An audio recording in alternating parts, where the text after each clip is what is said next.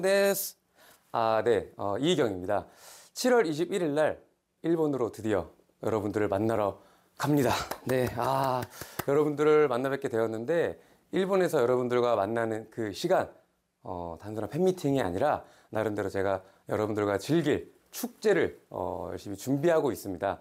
여러분들과 함께 즐겁게 시간을 보낼 어, 재밌게 놀고 싶습니다. 열심히 준비하고 있으니까요. 7월 21일 날 저하고 즐겁게 보낼 준비만 하고 오시면 되겠습니다. 그러면 7월 21일 날 여러분들과 저 즐길 준비 되셨나요? 그러면 그날 7월 21일 날 뵙도록 하겠습니다.